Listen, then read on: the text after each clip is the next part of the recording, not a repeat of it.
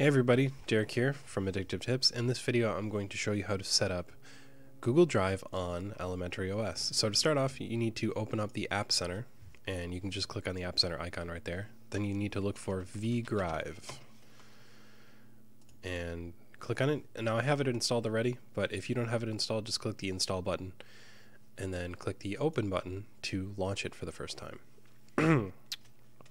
so I've already got my stuff synced so I'm going to go ahead and remove it and we will show you how to set it up. Alright, so when you first start up vDrive, you're going to see welcome, start syncing your Google Drive files. So you can click the login button right here and it'll say give permission to vDrive. You then click here.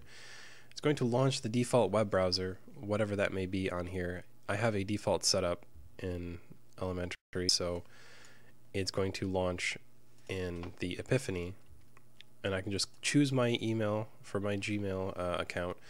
I can click allow and then it's going to give me a code and then I can put this code into here and click continue.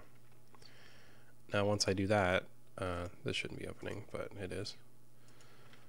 It's saying not syncing. So from here I can click the start syncing button. It's going to download everything into the vDrive folder and if we open up the files app here, we can see our Google Drive files downloading to the elementary OS. Now, I think this is pretty cool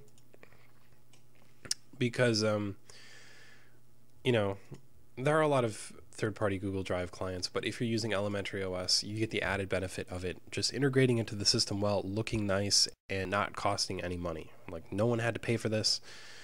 You know, there are some other syncing apps online for Linux that you have to pay for, which I am not a huge fan of. Uh, but this is pretty nice, and since it's an app center, I think you can even like choose to give them money if you want to. But that's how you get Google Drive working on elementary OS. I hope you guys enjoyed this video, and I will see you in the next one.